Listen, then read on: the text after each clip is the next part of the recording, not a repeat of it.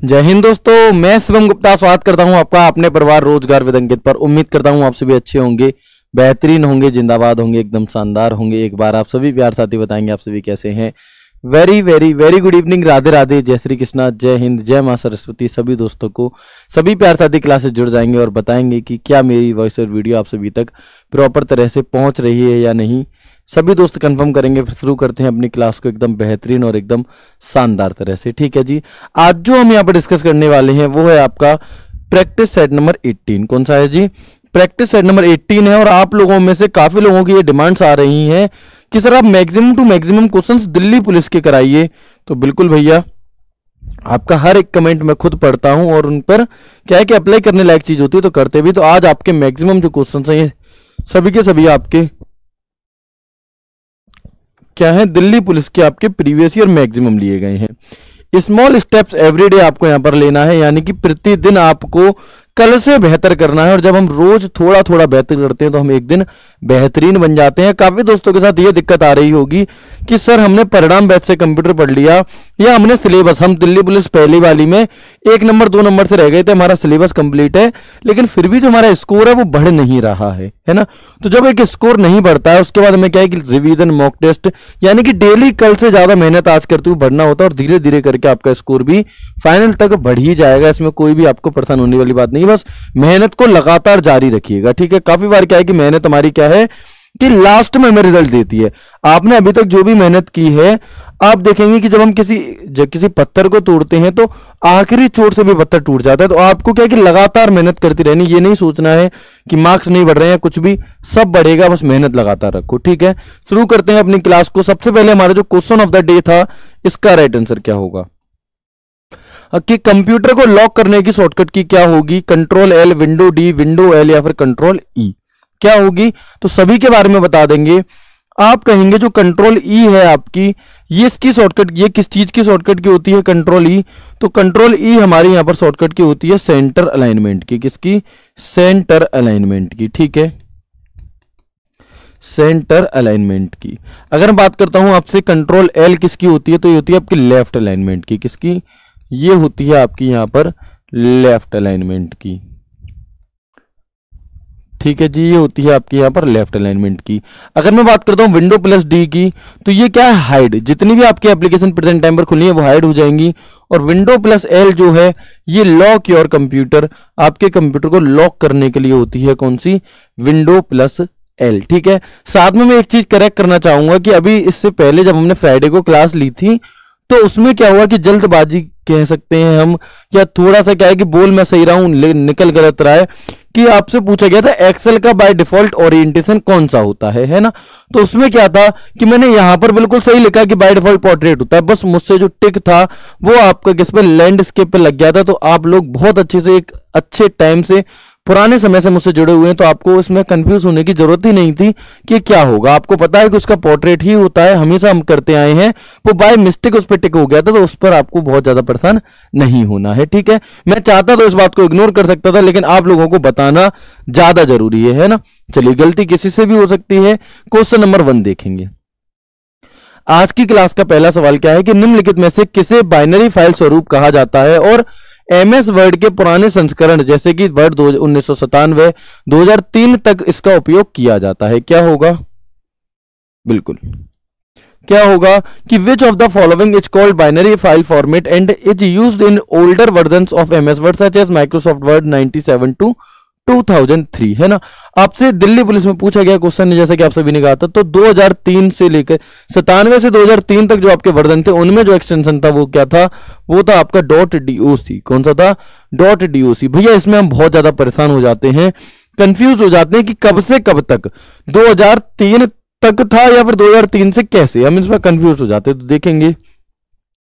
वर्दी कैप्सूल के तहत, अगर डॉट डीओसी है मतलब 2003 है या 2003 से पहले का कोई है तो एक्सटेंशन होगा आपका कौन सा डॉट डीओसी लेकिन अगर आपका, फिर गलती। इसमें ना, इसे, इस काट देंगे आप यहाँ पे, तीनों में ही। है ना, ये टाइपिंग एरर है इसमें, इसे काट देंगे थोड़ा सा चले। अब यहाँ पर आप देखेंगे कि 2007 से क्या हुआ, बदलाव हुआ एक्सटेंशन में 2007 से। तो एम एस बार दो हज़ार सात, दो हज़ार दस, दो हज़ार तेरह, दो हज़ार सोलह, दो हज़ार उन्नीस, तीन सौ पैंसठ। इनमें जो एक्सटेंशन है वो होता है डॉट डी सी एक्स अगर मैं एस एल एक्स की बात करूँ तो एम एस एक्सएल दो हज़ार सात, दस, तेरह, सोलह, उन्नीस, तीन सौ पैंसठ। डॉट पीपीटी आपका पावर पॉइंट का एक्सटेंशन होता है किसका? पावर पॉइंट का। और डॉट पीपीटीएक्स होता है पावर पॉइंट का 2007 10 13 16 19 तीन सौ पैंसठ, इन वाले वर्जन में। सात के बाद नहीं, सात से। अंतर होता है सात के बाद और सात से में। अगर मैं कहता हूँ कि 2007 के बाद एक्सटेंशन ये हुआ तो सात के बाद वर्जन आया था 2010 और सात से अगर मैं कहता हूँ तो इसी से अप्लाई हो गया तो याद रखना, इसी से अप्लाई हो गया था। यानी कि 2007 में भी आपका कौन सा? 2007 में भी आपका क्या था? बिल्कुल। 2007 में भी आपका क्या था यहाँ पर? Dot DOC X dot XL S X ये वाले थे। इसमें बिल्कुल भी कंफ्यूज आपको नहीं होना है, ठीक है? आगे बढ़ेंगे। इसके बाद आपका क्वेश्चन नंबर दो, कि कंप्यूटर प्रोग्रामिंग में वायरस जो शब्द होता है वायरस इसकी फुल फॉर्म क्या है? इसका पूरा नाम क्या होता है? बताएँगे। सर एग्ज़ाम में बात, बार बार एम एस एक्सएल तीन के बारे में पूछ रहा है इसे डिटेल भैया, नहीं करना है। यही चीज़ है, कुछ भी उसमें क्या है, अलग नहीं है। यही चीज़ है, बस वर्धन का नाम आपको चेंज कर देता है कि बताओ माइक्रोसॉफ्ट एक्सेल तीन में सेव करने की शॉर्टकट क्या होगी? वही होगी चेंज नहीं होगी। वायरस की आपकी फुल फॉर्म क्या होती है? तो वाइटल इंफॉर्मेशन बताएँगे क्या होगी आपके यहाँ पर। वाइटल इंफॉर्मेशन रिसोर्स इंटरसीज होगी। आप देखेंगे यहाँ पर कि वाइटल इंटरचेंज मतलब ही नहीं है रिकॉग्नाइज मतलब ही नहीं है रिकॉर्ड नहीं। क्या होगा? Option B is the right answer अगर इस प्रकार की आपको फुल फॉर्म याद नहीं भी है तो कोई समस्या नहीं है। आप इन्हें ऑप्शन एलिमिनेशन के थ्रू कर सकते हैं, है ना? चलिए। आगे देखेंगे, अगला आपका, अब इससे रिलेटेड क्या है आपके, यहाँ पर हमारा फुल फॉर्म था तो फुल फॉर्म से रिलेटेड आपके वर्दी कैप्सूल से जिससे कि आपकी फुल फॉर्म वाले टॉपिक्स रिवाइज होते चले जाएँगे साथ में। तो हम यहाँ पर देखेंगे कि ए एस सी डबल आई की फुल फॉर्म क्या होती है, किसकी? ए एस सी डबल आई तो American standard code for information interchange ठीक है? बिल्कुल। क्लियर है या नहीं है? वेरी गुड समझेंगे, बताएँगे। ए एस सी डबल आई की फुल फॉर्म क्या होती है? तो American standard code for information interchange आपकी होती है। अगर मैं आपसे बात करता हूँ अर्पा नेट की फुल फॉर्म क्या होगी? तो advance research project agency network और ये जितनी भी फुल फॉर्म लिखी हुई है, सभी की सभी फुल फॉर्म आपकी एम एस आपकी, हम कह सकते हैं कि दिल्ली पुलिस 2020 दिल्ली पुलिस 2022 एससीएम एडब्ल्यू टीपीओ इनमें भर भर के यहाँ से आपके क्वेश्चन पूछे गए और यही फुल फॉर्म्स आपकी बार बार रिपीट हुई काफ़ी सारे एग्ज़ाम्स में। तो मोस्ट इंपॉर्टेंट जो हो सकती है वो वाली है।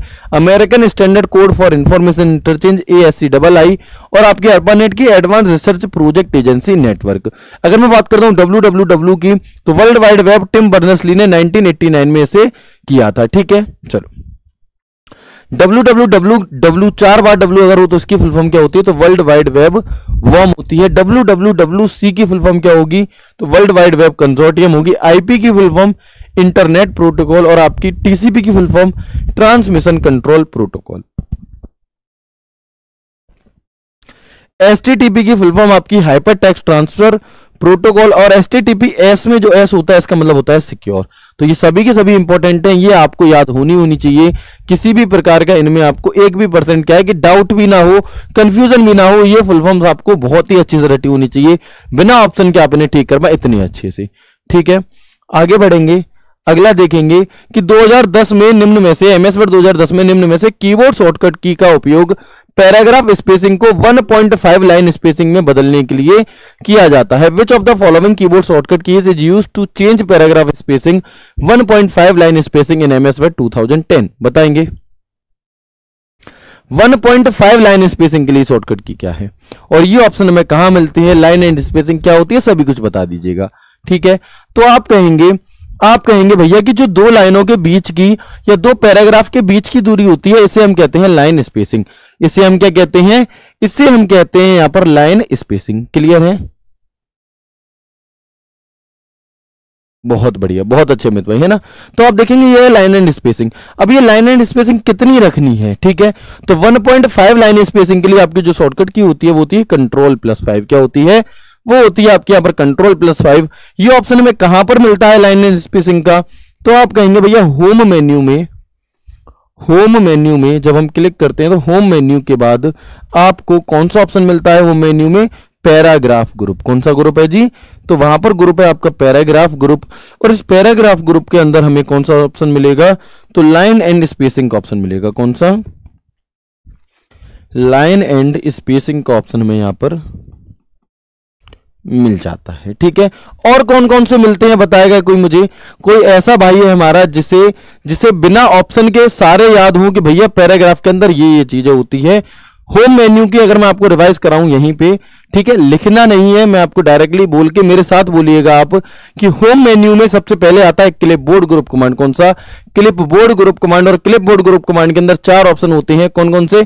Cut copy paste format printer cut control X copy control C paste control V और शिफ्ट इंसर्ट भी आपकी पेस्ट के लिए होती है और फॉर्मेट प्रिंटर फॉर्मेट प्रिंटर पर जब हम क्लिक करते हैं तो हमारा कर्सर किसमें बदल जाता है? ब्रश में बदल जाता है। फॉर्मेट को कॉपी करने की शॉर्टकट की control plus shift plus C और फॉर्मेट को पेस्ट करने की शॉर्टकट की control plus shift plus V इसके बाद अगर हम चले आपकी फॉन्ट में तो होम मेन्यू के फॉन्ट ग्रुप कमांड में हमें क्या मिलेगा? फॉन्ट का साइज़ फॉन्ट का आपका स्टाइल चेंज करने के लिए bold control B italic control I underline control U double underline control plus plus D आपका underline without space control plus shift plus W subscript control equal to superscript control plus control plus shift plus plus हो जाएगी।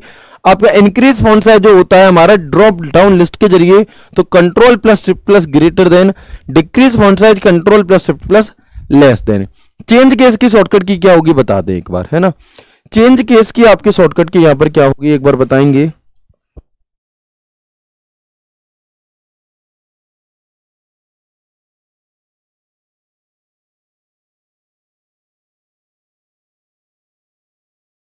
है ना?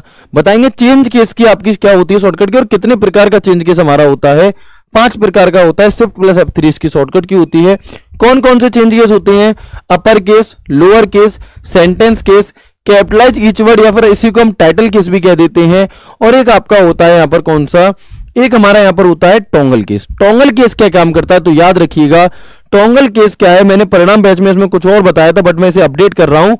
तो याद रखना आप कि टोंगल केस जब आप देखते हो अपना तो कुछ ऐसा दिखाई देता है, ठीक है? लेकिन ये होता क्या है? ये होता क्या है? इससे आप याद रखिएगा कि ये अपोजिट कर देता है है ना? कैपिटल लेटर को, या हम कहें अपर लेटर को स्मॉल ये क्या करेगा? अपर अपर लेटर को स्मॉल स्मॉल और स्मॉल लेटर को अपर कर देता है। स्मॉल लेटर को अपर कर देता है। इसे मैं अपडेट कर रहा हूँ, उसे समझिएगा। स्मॉल लेटर को अपडेट कर देता है, ठीक है? अपर कर देता है। अगर मैं आपसे कहूँ, अगर मैं आपसे कहूँ, यहाँ पर मैं आपको एक सेंटेंस दे रहा हूँ। मैं यहाँ पर आपको एक सेंटेंस दे रहा हूँ टारगेट टारगेट दिल्ली पुलिस। बताएँ, इससे आप अगर आप इस पर ट्रोंगल केस का इस्तेमाल करते हैं तो ये कैसे लिखा जाएगा बताएँगे। ठीक है? पहले मैंने आपको बताया था कि पहला अक्षर क्या होगा? पहला अक्षर आपका कैपिटल पहला अक्षर आपका स्मॉल बाकी सभी कैपिटल नहीं। यहाँ पे मैं चेंज कर रहा हूँ, मैं ये कह रहा हूँ कि जो आपका लिखा है, अगर आप उस पर अप्लाई करते हैं तो जैसा लिखा है, उसका जस्ट अपोजिट कर देंगे। जस्ट अपोजिट यानी कि, चलिए। भैया मेरे मॉक में आठ क्वेश्चन सही हो रहे हैं। प्लीज़ हेल्प मी भाई, इसमें क्या और क्या हेल्प करूँ मैं बताओ? आठ हो रहे हैं, इसी पर लगातार मेहनत करते रहो, दस भी हो जाएँगे। और क्या चाहते हो? बारह सही करना चाहते हो। भाई, आठ एक अच्छा स्कोर है, जहाँ और लोग तीन, चार, पाँच कर पा रहे हैं, छह कर पा रहे हैं। आप अगर वहाँ पर आठ कर रहे हैं तो एक अच्छा स्कोर है। संतुष्ट रहिए, है ना? चले।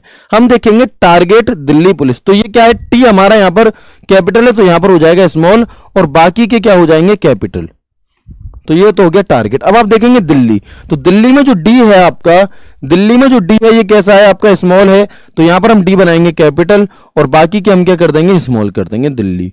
फिर हमारा पुलिस सभी कैपिटल है तो हम यहाँ पर क्या करेंगे? पुलिस में सभी स्मॉल कर देंगे। यानी कि जस्ट क्या कर देता है आपका यहाँ पर? क्लियर है? चलो। आगे बढ़ेंगे इसके बाद। कंट्रोल प्लस वन आपकी शॉर्टकट की होती है सिंगल लाइन स्पेसिंग की। कंट्रोल प्लस टू होती है double line space control plus five होती है 1.5 लाइन स्पेस और कंट्रोल प्लस एंटर होती है आपकी पेज ब्रेक की शॉर्टकट की। बताएँगे पेज ब्रेक का ऑप्शन में कहा मिलता है? ठीक है भाई, चलिए। ओके अंकित भाई, मैंने आपका मैसेज देख लिया है ना? बताएँगे आप कि कंट्रोल एंटर का ऑप्शन में कहाँ पर देखने के लिए मिलता है? यानी कि पेज ब्रेक का ऑप्शन हमें कहाँ मिलता है? किस मेन्यू में मिलता है? बहुत अच्छी आंसर आ चुका है कि इंसर्ट में। कहाँ पर? इंसर्ट मेन्यू में पेज ब्रेक का ऑप्शन हमारे पास होता है पेजेस ग्रुप कमांड में। इंसर्ट मेन्यू के पेजेस ग्रुप कमांड में होता है ये, ठीक है? और हम बात कर रहे थे कि पैराग्राफ ग्रुप कमांड में क्या क्या मिलता है तो आपका लेफ़्ट राइट सेंटर और justify alignment increase indent decrease indent short हो गया आपका। शेडिंग का ऑप्शन हो गया आपका और हम यहाँ पर बात करते हैं आपका शेडिंग के बाद में। बॉर्डर का ऑप्शन हो गया आपका, ये सारे ऑप्शन में कहा मिल जाते हैं? ये सारे ऑप्शन आपको पैराग्राफ ग्रुप कमांड मिलते हैं। क्वेश्चन नंबर फोर बताएँगे साढ़े तीन इंच की फ्लॉपी डिस्क की क्षमता कैपेसिटी क्या है? What is the capacity of 3.5 3.5 बिल्कुल। चलिए, बताएँगे क्या होगा? साढ़े तीन इंच की जो फ्लॉपी डिस्क होती है, ये कितनी आपकी, कितने एमबी की होती है तो याद रखना मोस्ट इंपॉर्टेंट सवाल है 1.44 एमबी की होती है, कितनी? 1.44 एमबी की। अगला देखेंगे क्वेश्चन नंबर फाइव कि वर्ल्ड वाइड वेब का विकास डेवलपमेंट निम्नलिखित में से किस वर्ष में हुआ था? यह क्वेश्चन दिल्ली पुलिस 2022 में पूछ चुकी है, यानी कि जस्ट एक साल पहले, और मैंने अभी आपको कैप्सूल में इसका रिवीजन कराया था, अगर आपको याद हो बहुत अच्छे से। तो तो आप क्या कहेंगे कि 1989 में, कब? 1989 में किसने किया था बताएँगे आप? किसने किया था और किसने किया था यह सवाल अभी 27 अगस्त 27 अगस्त 2023 में पेपर हुआ आपका, जस्ट एक महीने पहले पेपर हुआ आपका, जूनियर असिस्टेंट का एक कठिन पेपर हुआ, जिसमें आपसे पूछा गया कि डब्ल्यू का आविष्कार किसने किया तो याद रखिएगा टिम बर्नर्स ली ने। टिम बर्नर्स ली ने। क्लियर? आगे आएँगे।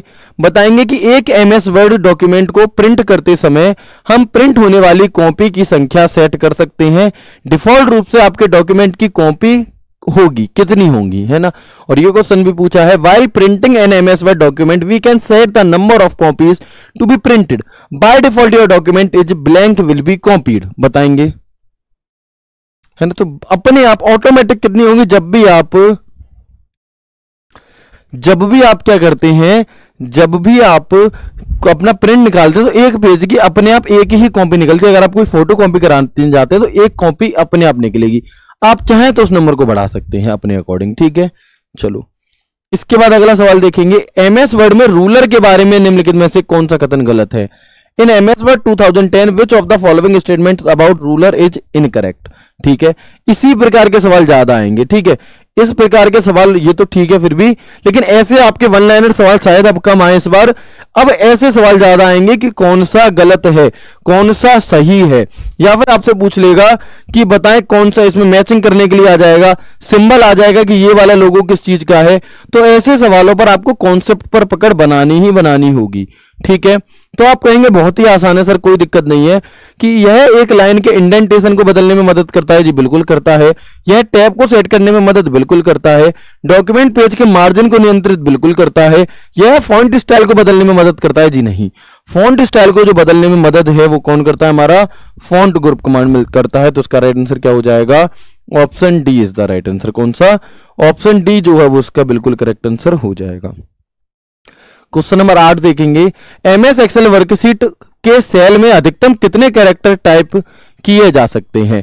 और इसी के साथ मैं बताऊँगा कि कल की पीडीएफ कहाँ मिलती है भाई? पीडीएफ रोज़गार विदंकित एप्लीकेशन हमारा, बहुत ही प्यारा। वहाँ पर पीडीएफ क्लास नोट्स में मिलती है, ठीक है? चलो।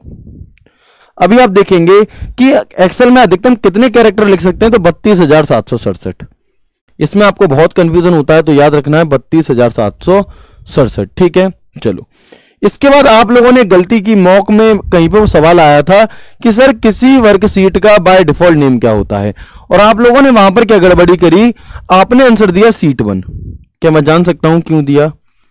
जिन्होंने इस सवाल को गलत किया, वो ही क्या है? वो ही आपके दस में से नौ कर पाए अदरवाइज़ ज़्यादातर बच्चों ने दस में से दस करी। भाई, मेरे समझिएगा आप बात को कि जो एम एस एक्सएल की फ़ाइल होती है, वो एक वर्क बुक होती है। वो एक वर्क बुक होती है और जब भी हम किसी वर्क बुक का, यानी कि एम एस एक्सएल की किसी फ़ाइल में जब हम काम करते हैं तो अपने आप जो उसका नाम होता है, वो क्या होता है? ऑटोमेटिक जो उसका नाम सेव होता है, वो होता है बुक वन क्या होता है? वो होता है बुक वन ठीक है? किसी एम एस एक्सएल की फ़ाइल का बाय डिफ़ॉल्ट नेम आप सीट वन आपने लगाया तो वो वर्कशीट होती है। वर्कशीट यानी कि पेज एक तरह का। जैसे एमएस वर्ड में अलग अलग पेज होते हैं। एक पेज दो पेज चार पेज पाँच सौ पेज ले सकते हैं। ऐसी एमएस एक्सेल में हम सीट लेते हैं। एमएस वर्ड की फ़ाइल का by default name document one MS Excel की फ़ाइल का by default name book one लेकिन जो वर्कशीट होती है, जो एक तरह से पेज होता है, उसका नाम होता है सीट वन सीट टू समझिएगा, गलती नहीं करनी। और ये जो सीट वन सीट टू है इसका मैक्सिमम 31 कितने 31 अक्षर का ही आपका ये इसका नाम हो सकता है। अगला देखेंगे क्वेश्चन नंबर नाइन ऐसे सवाल मैंने आपको अभी बहुत अच्छे से सिखाए हैं, आपका प्रश्न 2.0 में आपने देखा होगा, है ना? चले क्या है कि सेल में सेल ए5 में formula equal to A three plus B four पर विचार करें। यदि सेल ए5 को ई9 में कॉपी और पेस्ट किया जाता है तो सेल ई9 में फॉर्मूला क्या होगा? है ना? ये वाले सवाल मैंने आपको बहुत अच्छे से बताया मैंने तो सीट वन ही लगाया था। बहुत अच्छा काम किया है ना? चलिए। सर, आपका टेलीग्राम भाई, मेरा पर्सनल कोई टेलीग्राम चैनल नहीं है बिकॉज़ हम आरडब्ल्यू फैमिली के हैं। आरडब्ल्यू फैमिली हमारी तो रोज़गार विदंकित एप्लीकेशन रोज़गार विदंकित का जो टेलीग्राम ग्रुप है, वो है हमारा ग्रुप ठीक है? और साथ में आप देखेंगे कि अगर आपको मुझसे कोई डाउट पूछना है तो परिश्रम 2.0 बैच जिन बच्चों ने लिया है, वो डाउट ग्रुप से जुड़े हुए हैं, वहाँ से आप पूछ सकते हो, भैया, हमने तो परिश्रम 2.0 बैच नहीं लिया, आप हमारी कॉलिंग टीम को कॉल करो, उनके ज़रिए आप हमसे कांटेक्ट कर सकते हो। भैया, वो फ़ोन नहीं उठाते, अब क्या किया जाए?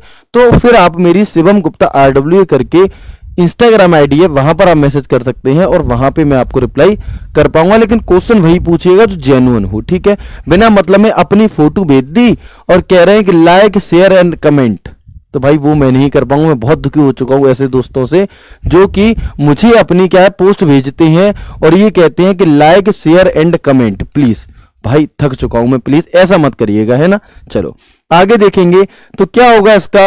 A three plus B four पर विचार करें, देखो ए फाइव सेल में। इसे करने का अच्छा तरीका यह है ए फाइव सेल में क्या लिखा है आपका? A three plus B four A three plus B four ठीक है? जो भी आपका जेनुअन डाउट है, वो आप पूछिए पीडीएफ कहाँ मिलेगी? आज ये वाली क्लास होगी या नहीं होगी? भाई, ये चीज़ें हमारी नहीं होती है टेक्निकल टीम का काम होता है। हो सकता है शायद आप लोगों को बुरा लगे थोड़ा सा, लेकिन आपको ये चीज़ समझनी होगी, मैं रिप्लाई सभी को कर देता हूँ। लेकिन दिक्कत होती है इससे क्योंकि बहुत ज़्यादा मैसेजेस हो जाते हैं और अगर हम ऐसे जवाब देंगे तो फिर हम आपके कंटेंट पर काम नहीं कर पाएँगे। इसलिए आप वो डाउट पूछें जो आप कहीं पर क्लियर नहीं कर पा रहे, जो आपको गूगल पर भी नहीं मिल रहा है, जो आपको कोई दोस्त नहीं क्लियर कर पा रहे वो डाउट आप हमसे पूछें। आपका स्वागत है। लेकिन अगर आप कहेंगे कि लाइक शेयर एंड सब्सक्राइब तो भाई दिक्कत होती है वहाँ पे फिर, ठीक है? चलो। अब हम देखेंगे ए फाइव तो यहाँ पे देखो ए का ए रहा और यहाँ पे फाइव से क्या है? तीन कर दिया, यानी कि माइनस का दो कर दिया, ठीक है? इस वाले में क्या है? यहाँ पर प्लस वन कर रहे हैं और यहाँ पर आपका माइनस वन कर रहे हैं। अब आप देखेंगे कि अगर हम इसे कहाँ पे ई e नाइन में कॉपी करते हैं, इसमें ई e नाइन में। अब देखिएगा ई e नाइन में जब हम यहाँ पर कॉपी करते हैं इसे तो ए का ए रखा था तो ई का ई रखेंगे। फाइव में माइनस टू कर रहे थे तो यहाँ पर क्या कर देंगे? नाइन में माइनस टू सेवन प्लस अब आप देखेंगे यहाँ पे कि ए से क्या है? बी हो रहा है, यानी कि प्लस वन हो रहा है तो ई e से क्या कर देंगे? एफ़ कर देंगे प्लस वन और यहाँ पर आपका क्या है? माइनस वन हो रहा है तो इसमें भी माइनस वन कर देंगे एट यानी कि E E seven plus F eight क्या है? E seven plus F eight तो क्या हो जाएगा इसका राइट आंसर बहुत ही बढ़िया, ज़बरदस्त, जबरा सवाल है ये आपका। जैसे जबरा फ़ैन होता है, वैसे ये जबरा सवाल है, शानदार सवाल है। इसमें बच्चे बहुत ज़्यादा कंफ्यूज होते हैं, ये सोचते हैं कि आखिर ये है क्या। है ना? अच्छा एक चीज़ और आती है, एक सवाल आप लोगों को परेशान कर रहा है, जो मेरे पास अलग अलग जगह पे आया टेलीग्राम ग्रुप में काफ़ी दोस्तों ने पूछा, और काफ़ी दोस्तों ने वो मुझसे पूछा इंस्टाग्राम पे क्या देखो। अब ये तो हमारा क्या था, ये तो इस वाले फॉर्मूले को ऐसे ऐसे कर दिया। अगर मैं आपसे कहूँ कि एक फॉर्मूला है आपका सेल ए वन में सेल ए वन में एक फॉर्मूला हमने लिखा, कि dollar B dollar two plus dollar C और डॉलर फाइव, मान लीजिए ये। इस वाले फॉर्मूले को अगर हम, इस वाले फॉर्मूले को अगर हम यहाँ पे ई e टेन में कॉपी करते हैं तो आंसर क्या आएगा? इस वाले फॉर्मूले को अगर हम, हमने ये फॉर्मूला ए वन में लिखा, और इस फॉर्मूले को अब हम क्या करते हैं? ई e टेन में कॉपी करते हैं तो आंसर क्या आएगा? समझिएगा बात को। है ना? बिल्कुल। है ना? तो यहाँ पर क्या होगा? तो इससे हम कहते हैं आपका क्या? एब्सोल्यूट सेल रेफरेंस ये क्या है जी? इसमें क्या है, जब हम डॉलर लगा देते हैं इसका मतलब क्या? अगर आप इसे कहीं पर चेंज करोगे पेस्ट करोगे तो ये बदलेगा नहीं, ऐसा का ऐसा ही रहेगा। कैसे? तो जब आप इसमें करेंगे से पेस्ट तो इसका आंसर यही रहेगा, कुछ भी नहीं करना, जैसा है, वैसा का वैसा उतार दो। अगर आपको रो और सेल इन सभी चीज़ों से पहले क्या है, अगर आपको इन सभी से पहले डॉलर लगा हुआ मिल रहा है, इसका मतलब यही आंसर होगा चेंज नहीं होगा। समझिएगा इस बात को, है ना? इसमें बहुत ज़्यादा दिक्कत हुई थी तो चेंज नहीं होगा सेम टू सेम आ जाएगा, अगर डॉलर लगा है। और अगर डॉलर नहीं लगा तो क्या होगा? तो भैया ये होगा। ठीक है? चलो। आगे देखेंगे क्वेश्चन नंबर दस। ये भी एक ज़बरदस्त सवाल है, एकदम शानदार सवाल है। इसका आंसर पता है आप लोगों का क्या आएगा? मैं बता देता हूँ, और आप लोग बहुत होशियार हैं, बिल्कुल सही आंसर देंगे। तो काफ़ी दोस्तों का जो इसका आंसर आएगा, वो आएगा ये, और आने लगा होगा। बताएँगे कितने दोस्तों का आ रहा है? वेरी गुड बहुत अच्छे आने लगे हैं आंसर चलिए. अब कोई जाके फ़ोटो खींच के जी मती वायरल कर दियो कि जी देखो गुरुजी ने गलत लगा रखो भाई जान पूछ के लगाया है, ठीक है? चलो. है ना? क्योंकि तस्वीरें बोलती नहीं है, नहीं तो पता चला कि जाके स्क्रीन शॉट लेके और दी इंस्टा पे कि देखिए ये तो गलत पढ़ा रहे हैं. ऐसा नहीं करना है. ठीक है? ये कौन सा लगाया था जो आप लोग लगाने वाले हो? वो वाला लगाया था। होगा क्या इसका आंसर आप गलती कहाँ पर करते हैं? उस चीज़ को समझिएगा कि फैक्टोरियल फैक्टोरियल आपका कौन सा है? ज़ीरो फैक्टोरियल तीन फैक्टोरियल पाँच। जो लोग 126 आंसर देते हैं, वो क्या करते हैं? फैक्टोरियल ज़ीरो की वैल्यू ज़ीरो और फैक्टोरियल फैक्टोरियल तीन की वैल्यू छह और फैक्टोरियल पाँच की वैल्यू 120 और ये हो गया 126 और भाई साहब छाती चौड़ा करके आएँगे एग्ज़ाम हॉल से कि अपन तो पूरे में से पूरे मार के आए हैं। भाई एक भी गलत ना है। और फिर निकलेंगे पेपर से तब पता लगेगी, ओ सिट ये क्या हुआ? है, जू का हुएगा तो आप देखेंगे कि आपका जो फैक्टोरियल ज़ीरो होता है, इसकी वैल्यू कितनी होती है? फैक्टोरियल ज़ीरो की वैल्यू आपकी वन होती है। कितनी, इसे आपको याद रखना है। फैक्टोरियल फैक्टोरियल और कितना दिया? तीन। तीन की वैल्यू क्या होगी? तो तीन गुणा दो गुणा एक। तीन गुणा दो गुणा एक, ये हो जाएगी आपकी छह। कितनी हो जाएगी? छह। इसके बाद आप देखेंगे फैक्टोरियल फैक्टोरियल क्या है आपका? पाँच। इसकी वैल्यू क्या होती है? तो पाँच गुणा चार गुणा तीन गुणा दो गुणा एक। इसकी वैल्यू क्या हो जाएगी? वन ट्वेंटी इन तीनों को छोड़ देंगे तो वन ट्वेंटी सेवन ठीक है? अब एक और सवाल आपको दिक्कत करता है। आप लोगों को कहाँ कहाँ दिक्कत होती है? आप लोगों को कहाँ कहाँ दिक्कत होती है वो मुझे पता है। कैसे देखो? एक और सवाल मैं आपको देता हूँ, बताना इसका आंसर क्या होगा। Equal to fact. बताएँ इसका आंसर क्या आएगा। बताएँ इसका आंसर क्या आएगा। क्या इसका आंसर 96 तो नहीं आ रहा आप लोगों का?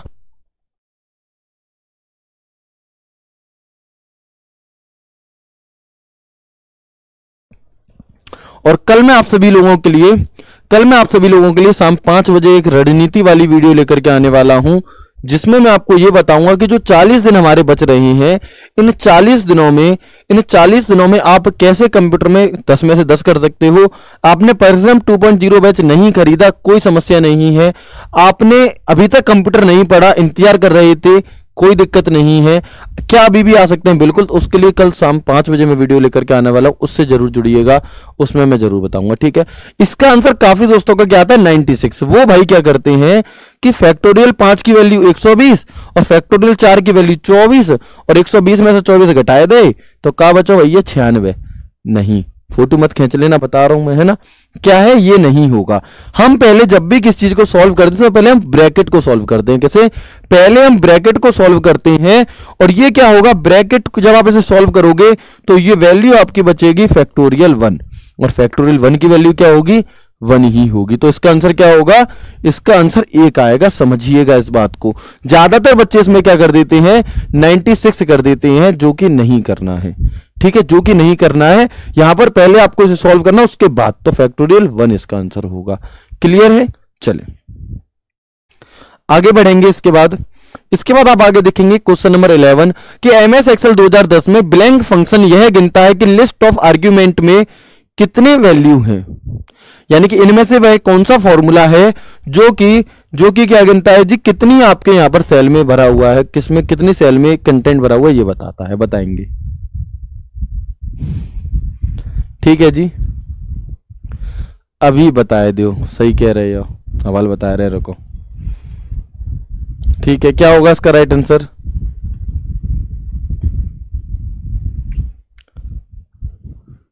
चलिए। नहीं, हितेश भाई, आप गलती कर रहे हैं, आप कहीं ना कहीं चेक करिएगा। देखो, मैं आपको दिखा देता हूँ, है ना? आपने क्लास ढंग से देखी नहीं होगी, वो फॉर्मूला कुछ और ज़रूर होगा। देखें मैंने यहाँ पर एक्सेल ओपन किया। ठीक है, मैं आपको दिखा देता हूँ। चौबीस नहीं होगा उसका आंसर मैं यहाँ पे दिखाता हूँ। ठीक है एक्सेल हमने ओपन किया। ठीक है, अब आप इस एक्सेल में देखिएगा, मैंने यहाँ पर फॉर्मूला लिखा क्या? Equal to fact bracket start five minus four bracket बंद। ठीक है, यही फॉर्मूला है आपका, सिंटू।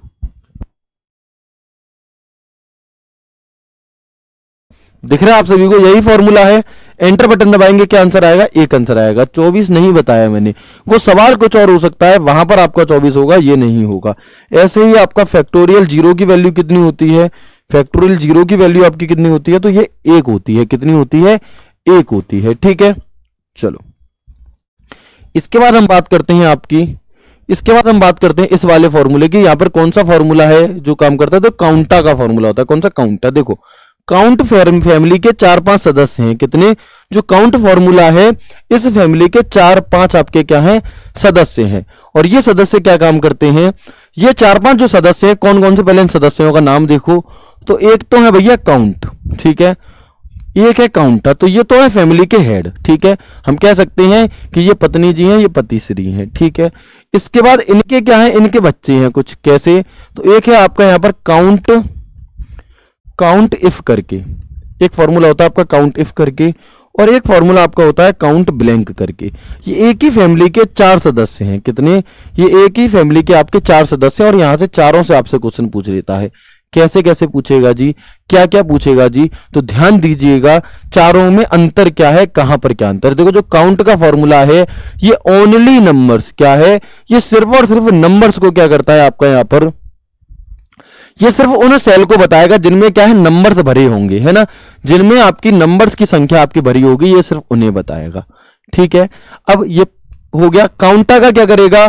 तो ये नॉन ब्लैंक सेल को काउंट करेगा। क्या? नॉन ब्लैंक सेल को काउंट यानी कि खाली नहीं होनी चाहिए, कुछ भी हो उसमें सेल को नॉन ब्लैंक सेल को काउंट करेगा। ठीक है? तो ये आपको यहाँ पर समझ में आ गया। ये आपको समझ में आ गया कि ये जो ये जो मैडम जी है काउंट वाली फॉर्मूला है, ये क्या है? ये ओनली नंबर्स को करेगा। यानी कि ये सिर्फ़ और सिर्फ़ पैसे पर ध्यान देती हैं, ठीक है? जो काउंटा है, ये भैया नॉन ब्लैंक ये सबको लेकर के चलता है। इसमें क्या है? इसमें कुछ भी नहीं है। और ये जो कूपन कोड जो फ्री चल रहे हैं इनके साथ में काउंट इफ़ और काउंट ब्लैंक तो काउंट इफ़ वाला क्या करता है आपका यहाँ पर? कि रेंज देने के बाद में ये आपका, जो आप स्पेसिफाई मान लो आपको ये बहुत बड़ा आपका यहाँ पर डेटा है, उसमें आप ये देखना चाहते हो कि 50 संख्या कितने कॉलम में लिखी हुई है। ये उसे बताता है, ठीक है? और काउंट ब्लैंक तो खाली डिब्बों की संख्या को काउंट करता है। खाली सेल को काउंट करके बताता है कि इतनी रेंज में काउंट इतनी रेंज में आपका करके बताता है। ठीक है? क्लियर या नहीं? भैया, एक बार सीलिंग वाला बिल्कुल बता दूँगा भाई कॉपी पेस्ट मत करो, बिल्कुल बता दूँगा, ठीक है? चलो सीलिंग वाला फॉर्मूला देख लेते हैं जी। सीलिंग वाला फॉर्मूला क्या है देखो इजगल टू सीलिंग अच्छा जी बताओ, जो सीलिंग है तो सीलिंग शब्द सीलन से मिलता, जुलता है, कैसे सीलन और सीलन भैया कहाँ पे आती है? सभी लोग सरकारी नौकरी तैयारी कर रहे हैं, कोई अंबानी के परिवार से कोई भी नहीं है, सब नॉर्मल है, हम हमारे घर पे भी आती है आपके घर पे सीलन आती है भैया छत की तरफ़ से, है ना, पानी आनी टपकेगा छत पे। तो सीलन का मतलब क्या होता है? ऊपर। तो जैसे मैंने यहाँ पर लिखा 84 कोमा के कोमा के पाँच मान लीजिए, ठीक है? तो सीलन का मतलब होगा कि चौरासी से जस्ट बड़ी वो संख्या जो कि पाँच से पूरी तरह क्या हो, विभाज्य हो। क्या है? पूरी तरह आपकी विभाज्य चौरासी से ऊपर की बड़ी संख्या। तो चौरासी से बड़ी कौन सी संख्या है ऐसी? वो है जी पिच्यासी, जो कि पाँच से आपकी जा रही है तो क्या हो जाएगा पिच्यासी। अगर अगर इस फॉर्मूले में, अगर इस फॉर्मूले में आपका इजगल टू सीलिंग चौरासी कौमा चार होता, तब हम क्या करते? ये तो पूरा पूरा जा रहा है तो इसके अंदर चौरासी ही हो जाता। क्या हो जाता? चौरासी ही हो जाता।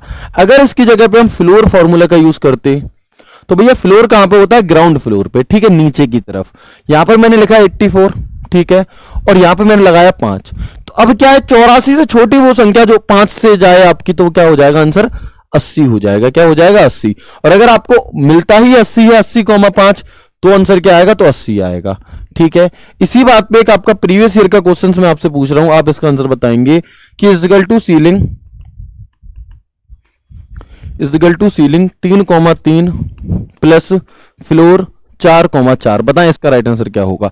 और ये आपसे प्रीवियस ईयर में पूछा गया क्वेश्चन है तो आप समझ सकते हैं कि इंपॉर्टेंट है, बताएँगे इसका आंसर क्या आएगा। सर प्लीज़ जल्दी कराइए। भैया, देखो, अगर आपको जल्दी ही करना है तो आप एक चीज़ समझ सकते हैं। बिल्कुल, आप, मैं जानता हूँ कि समय कीमती है, लेकिन आप इन सिर्फ़ 20 सवाल नहीं करो 20 से बहुत ज़्यादा चीज़ें कर रहे हो। मैंने लास्ट आपका जो फ्राइडे को प्रैक्टिस सेट लिया 20 मिनट में 20 सवाल करा दिए। उसमें सिर्फ़ 20 ही सीखे आप यहाँ पर, आप उस 20 की सहायता से कंप्लीट सिलेबस को रिवाइज कर पा रहे हो, है ना? आप अलग से रिविजन मत करो। मैं हूँ, मैं रिवाइज कराऊँगा, याद कराऊँगा, सब कुछ मुझ पर छोड़ दो और बेहतरीन तरह से करो। क्या होगा इसका राइट आंसर तो तीन प्लस चार इजगल टू सात। ठीक है जी। अगला सवाल देखेंगे। आ, कि भारत में इंटरनेट की शुरुआत कब हुई थी? है ना भारत में जो इंटरनेट की शुरुआत है ये कब हुई थी? तो 15 अगस्त उन्नीस सौ पिचानवे ग्यारह अगस्त उन्नीस सौ पिचानवे आठ अगस्त नौ अगस्त कब? ठीक है? वेरी गुड क्या होगा? तो आप कहेंगे कि भैया जो भारत में आपकी इंटरनेट की शुरुआत है पंद्रह अगस्त उन्नीस सौ पिचानवे से हुई थी। किसने की थी? किस कंपनी के द्वारा की गई थी? बताएँगे एक बार। चलिए। ठीक है। क्या होगा इसका राइट आंसर तो आप कहेंगे, भैया V S N L B नहीं बी फॉर बकरी नहीं बी फॉर बकरी नहीं होगा। क्या होगा? वी फॉर वकील होगा। ठीक है? तो वी एस एन एल यानी कि विदेश संचार निगम लिमिटेड। क्या है? इसकी फुल फॉर्म क्या है आपकी वी एस एन एल की? तो विदेश संचार निगम लिमिटेड। और बीएसएनएल की क्या होती है? फुल फॉर्म बकरी वाली की बीएसएनएल तो भारत संचार निगम लिमिटेड ठीक है? चलो, आगे बढ़ेंगे। अगला सवाल आपका, कि निम्नलिखित में से कौन सा विकल्प इंटरनेट द्वारा प्रदान की जाने वाली सर्विस नहीं है? इनमें से वो कौन सा ऑप्शन है? जो कि इंटरनेट से उसका रिलेशन कुछ भी यहाँ पर नहीं है। भाई कॉपी पेस्ट ना करें, कृपया करके, ठीक है? चलो, आगे देखेंगे क्या होगा इसका राइट आंसर इनमें से कौन सा ऐसा है जिसका संबंध नेट से नहीं है? भाई, ईमेल नेट के बिना नहीं भेजा जाएगा। वर्ल्ड वाइड वेब पूरा नेट पर ही टिका हुआ है। फ़ाइल ट्रांसफ़र प्रोटोकॉल इंटरनेट से ही संबंधित है। लेकिन ईथरनेट का जो संबंध है, ये नहीं है किससे? इंटरनेट से। तो इसका राइट आंसर क्या हो जाएगा यहाँ पर हमारा? Option A is the right answer अगला सवाल देखेंगे। अगला सवाल आपका क्वेश्चन नंबर 14 कि एमएस वर्ड में टेक्स्ट लाइन को लेफ़्ट मार्जिन पर ले जाने के लिए किस इंडेंट का उपयोग किया जाता है? और इसकी शॉर्टकट की क्या होती है? Which indent is used to move the text line to the left margin in ms word? बिल्कुल लेफ़्ट मार्जिन के लिए क्या आपका? लेफ़्ट इंडेंट अच्छा बताओ हैंगिंग इंडेंट की आपकी शॉर्टकट की क्या होती है? हैंगिंग इंडेंट जो होता है आपका, इसकी शॉर्टकट की क्या होती है? तो कंट्रोल प्लस टी अगर मैं आपसे बात करूँ रिमूव हैंगिंग इंडेंट की शॉर्टकट की क्या होगी?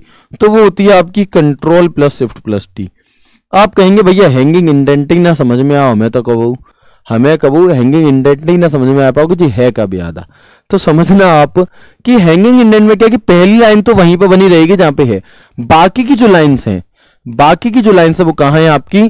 कुछ इस तरह से हो जाती हैं। ये होता है हमारा हैंगिंग इंडेंट ये क्या है हमारा? ये होता है हमारा यहाँ पर हैंगिंग इंडेंट क्लियर है? आगे बढ़ेंगे, अगला सवाल आपका क्वेश्चन नंबर पंद्रह। कि निम्नलिखित में से कौन सा चिन्ह ऐसा है जिसका प्रयोग किसी भी फॉर्मूले से पहले किया जाता है? जिसका प्रयोग किसी भी, चलिए सर घर वालों को, चलो, बहुत अच्छे। है ना? सरकारी नौकरी ले लो भाई, मान जाएँगे, ठीक है? सरकारी नौकरी ले लो, उसके अलावा कुछ भी आप कर लो, नहीं मानेगा कोई भी। सरकारी नौकरी इजा रामबाड़ इलाज, ठीक है? चलो, आगे बढ़ेंगे। बराबर का साइन। अच्छा रेंज को हम सेल रेंज को हम किससे डिनोट करते हैं? तो कॉलोन के साइन से। कैसे? जो रेंज का आपका ऑप्शन होता है, उसे हम किससे डिनोट करते हैं? कॉलोन से। ठीक है? इसके बाद अगर मैं आपसे कहूँ, चलिए, है ना? चलो, आगे देखेंगे। Question number 16 M S Excel 2010 में ब्लैंक फ़ंक्शन केवल वर्तमान सिस्टम तिथि प्रदान करता है। बस आज की तिथि, यानी कि आज की डेट के बारे में बताएगा। कौन सा फॉर्मूला है आपका? कौन सा फॉर्मूला जो सिर्फ़ आज की तिथि? देखो, केवल पर ध्यान देना। केवल वर्तमान सिस्टम तिथि प्रदान करता है तो क्या होगा इसका राइट आंसर टुडे कौन सा है जी? टुडे है। ठीक है? जो आज की डेट एंड टाइम दोनों बताता है, वो कौन सा है? वो नाव है। डेट एंड टाइम जो दोनों बताता है, वो क्या है? वो नाव है। क्वेश्चन नंबर सेवनटीन बताएँगे। निम्नलिखित में से कौन कंप्यूटर के सामान्य प्रदर्शन को प्रभावित नहीं करता? यानी कि जो जनरल वर्क होता है कंप्यूटर का, उस पर प्रभाव नहीं पड़ेगा इनमें से किस चीज़ से? सीपीयू से भाई, बिना सीपीयू के तो मतलब ही नहीं है। रैम बिल्कुल पड़ेगा, हार्ड डिस्क की स्पीड बिल्कुल पड़ेगा, लेकिन जो ग्राफिक्स कार्ड का आकार है, इससे क्या है? बहुत ज़्यादा फ़र्क यहाँ पे नहीं पड़ता है तो इसलिए इसका जो राइट आंसर वो क्या हो जाएगा? ऑप्शन ए अगला सवाल देखेंगे क्वेश्चन नंबर 18 कि एमएस वर्ड में प्रिंट प्रीव्यू विकल्प निम्न में से कौन सा विकल्प नहीं मिलता? यानी कि जब हम जब हम क्या करते हैं? जब हम प्रिंट प्रीव्यू देने जाते हैं, चलिए, जब हम भिंड जब हम भिंडे नहीं, जब हम प्रिंट प्रीव्यू देते तो इनमें से कौन सा ऑप्शन नहीं मिलता? भैया देखो, काफ़ी सारे दोस्त मुझसे पूछते हैं रिक्वेस्ट क्या कर रहे हैं भाई देखा ना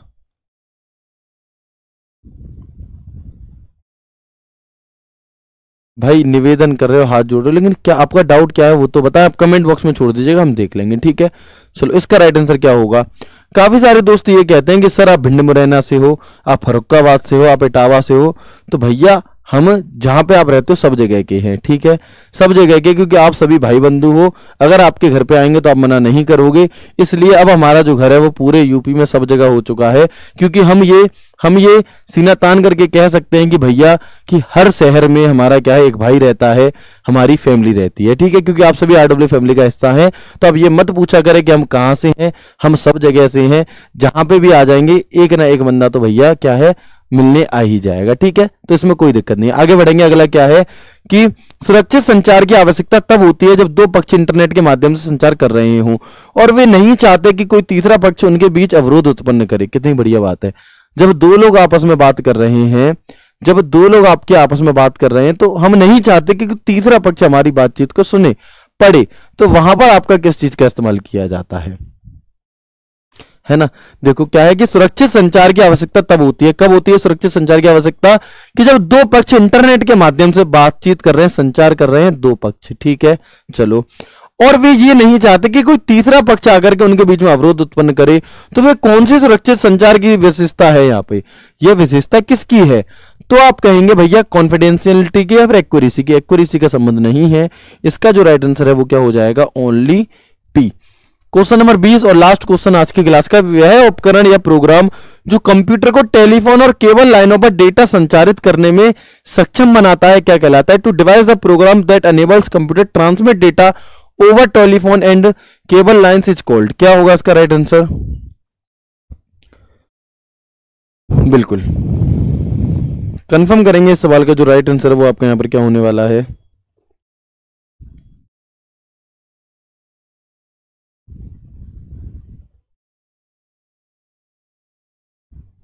बहुत अच्छे तो काफ़ी सारे दोस्त बिल्कुल सही आंसर दे रहे हैं। क्या होगा? मॉडम है ना? अब आप बताएँ कि मॉडम की फुल फॉर्म क्या होती है? जो मॉडम है, इसकी फुल फॉर्म क्या होती है? तो याद रखिएगा मॉडम एक इनपुट आउटपुट और नेटवर्किंग सब तीनों प्रकार की डिवाइस और इसकी जो फुल फॉर्म है, ये होती है मॉड्यूलेटर एंड डी मॉड्यूलेटर इसका काम क्या होता है? तो इसका काम आपका होता है यहाँ पर एनालॉग सिग्नल को डिजिटल सिग्नल में और डिजिटल सिग्नल को एनालॉग सिग्नल में कन्वर्ट करना। ठीक है जी तो ये थी आपकी आज की क्लास। जो मॉनिटर है, इसका घर का नाम होता है वीडीयू। विजुअल डिस्प्ले यूनिट और ये आपका एक सॉफ्ट कॉपी आउटपुट का उदाहरण है। जो ये माउस चाचा जी हैं, इनका आविष्कार किया था डगलस एंजल बार्ड ने। किसने? डगलस एंजल बार्ड ने। और ये एक प्रकार के क्या है? ये एक प्रकार के आपके यहाँ पर इनपुट डिवाइस है। ठीक है, ये है आपके लिए क्वेश्चन ऑफ़ द डे आपका होमवर्क वाला क्वेश्चन तो सभी दोस्त एक बार ज़रूर बताइएगा आपको आज की क्लास कैसी लगी, आपका स्कोर कितना रहा, और कल वाली क्लास से ज़रूर जुड़िएगा, शाम पाँच बजे आने वाली है, जिसमें कि मैं आपको बताऊँगा उस क्लास को जो भी शेयर वगैरह आप ईटीसी कर सकते हो, कर दीजिएगा अदरवाइज़ आपका मन ठीक है। तो मिलते हैं आपका कल की क्लास में एक नए, एक शानदार सेशन के साथ, बेहतरीन क्वेश्चनों के संकलन के साथ। स्कोर ज़रूर बताना अपना कितनी कुछ चीज़ें नई आपने यहाँ से सीखी, क्या आपका इससे रिवीजन होता है या नहीं, और क्वेश्चन ऑफ़ द डे का राइट आंसर क्या है? बाकी मिलते हैं कल की क्लास में एक नए एक शानदार सेशन के साथ, तब तक के लिए राधे राधे जय श्री कृष्णा, जय हिंद।